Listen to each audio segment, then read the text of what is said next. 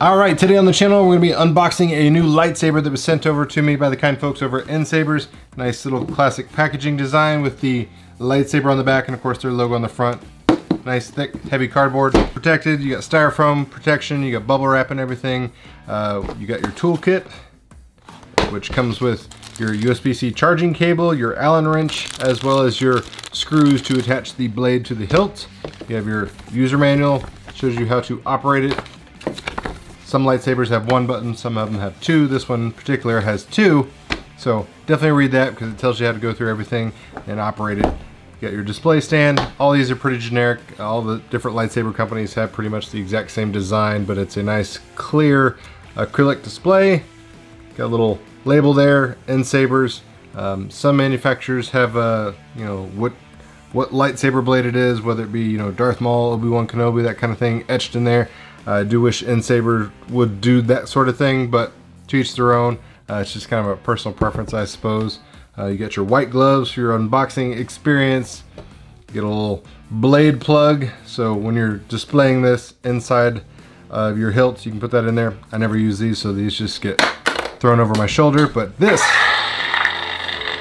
right? This is the piece de resistance. This is Starkiller's lightsaber. This is the weathered version, so as you can see with the paint application, uh, it's all aluminum construction, so everything's high quality materials, but they got some weathered details, the painting uh, washed to it, so it looks like it's, you know, been used and abused and uh, went through the ringer for sure. Nice, nice details, but like I said, this this open window, viewable, illuminated kyber crystal, that, that's where the money's at as far as uh, the design of this lightsaber in particular. Like I said, we got nice little references and throwbacks and kind of call outs to Darth Vader uh, with this top portion up there, very similar to Anakin and Vader's lightsabers, uh, knob as well. But man, I, I, can't get over how really, really cool and exciting that is. And said I'll go ahead and ignite it. Um, you can do twist ignition or you can just, you know, light there. So as you can see, obviously with the, the NeoPixel we can change colors, we can do all sorts of things. So we got purple in there, it's illuminated.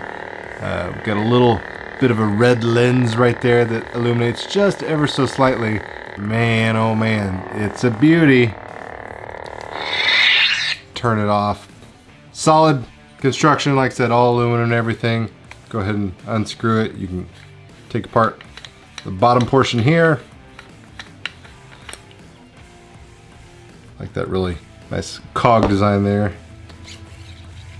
And then you pull out the brains of the operation. So you have your micro SD card in case you want to pop it out, uh, manipulate it into your files for your sound fonts. You have your USB-C charging port here on the bottom. And I've just turned it on by accident with the twist feature. Uh, and then of course your rechargeable battery there. So let's go ahead and go through some of the features and show you what this thing can do.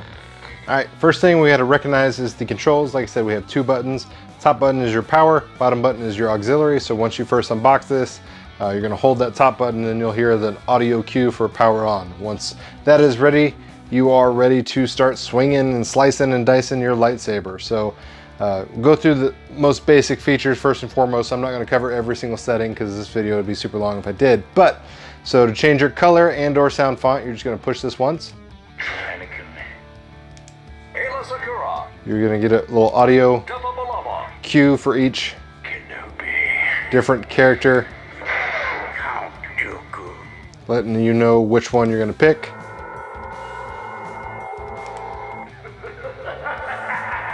Some of them flat out say the name, some of them are just, you know, audio cues like that, like Emperor Palpatine cackling. Uh, each one of them has their own little different color as well as uh, way the lightsaber ignites. So we'll go ahead and do uh, old Palpatine there. So you can twist to turn on the lightsaber or you can push the power button. So we'll just push the power button once and it ignites. And again, as you can see that open window there, the Kyber crystal is red. Lightsaber is a beautiful red color. Camera probably doesn't do it justice, probably looks orange, but we've got our smooth swing sound effects. So as I move this around, you can hear it as if you were, you know, truly in a lightsaber battle. You smack it, you get those clash effects. Push your bottom auxiliary button. You get your blaster deflections. And again, if you wanted to turn it off, you could twist, or you could push the top button again. So we'll change our character again by pushing the bottom button just once. Cal. Cal Kestis.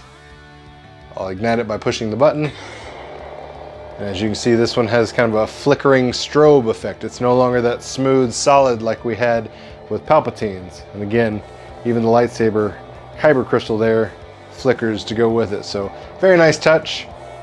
So we have this little bitty open window area. Flickers with it as well. It doesn't really ever match color-wise because it's a bit of a red lens, but it does add some nice, nice effect to it. Turn it off. Change character one more time and then we'll move on. Yoda. So again, nice solid green, not flickering like Cal Kestis's was. As you can see, the Kyber crystal is a solid green, isn't flickering as well, but same effects as before, just slightly different sounds for each individual character as far as spinning and everything. Holding this lightsaber feels good. Um, it is a bit longer. Naturally, my hand wants to gravitate to hold the middle uh, around the Kyber crystal area, which is a big no-no because the buttons are there, so you're gonna accidentally, you know, turn it off and on all the time. So naturally, you'd want to hold it more towards the bottom, but it does feel a little bit uh, long in the hand when you're holding it way down here, especially if you're trying to do spinning tricks or stuff of that nature. So let's change some of the effects. So we're gonna hold that top button Ignition 2. And we're gonna change the ignition style. So this is the second variation, as you can see. Lights up differently. Hold the button again, and we get that audio cue each time.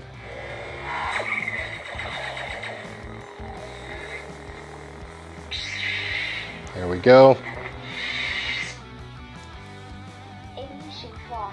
Four. Kind of pieces apart and together. Ignition 5. Number five. Starts from the top and the middle. And there's numerous different ignition styles as well as blade styles. So if you want the blade style, you're gonna hold the bottom button this time. 4. Now this is basic four. So we got a, a rainbow blade. Do number five Basic 5. Just by holding that bottom button again. This one's got a strobe effect.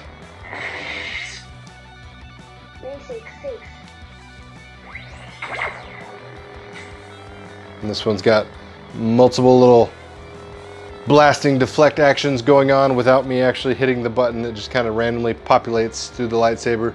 I'm basic. I like just a standard, normal, even glow lightsaber. No fancy tricks, no fancy ignition styles or anything like that. So I stick with the basic, uh, very beginning ones. You do whatever you want. Like I said, you can go through all sorts of different ones.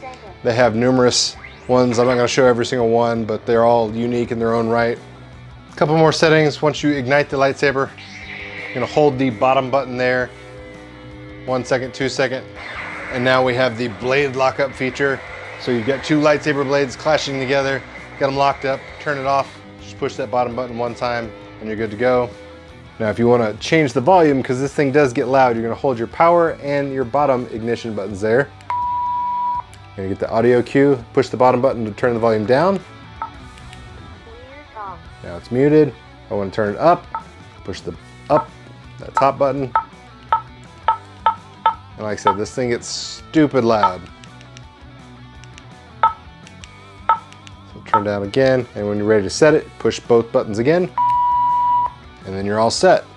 Change character, Rey Skywalker. Rey Skywalker. This is supposed to emulate Kylo Ren, so it's got the flickering. You can hear the, the hum, the crackle of his lightsaber. And again, the Kyber crystal is unbalanced, so it's flickering. I mean, overall,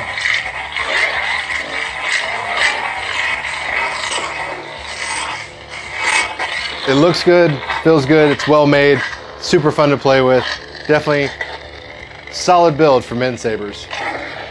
And that does it for this video review of the Weathered Starkiller lightsaber. If you're interested in picking one up, Put a product link down in the video description box below for you. And if you enjoyed the content, make sure you hit that like button. Share this video with your friends if you found the information helpful. And as always, thanks for watching, guys. It really means a lot.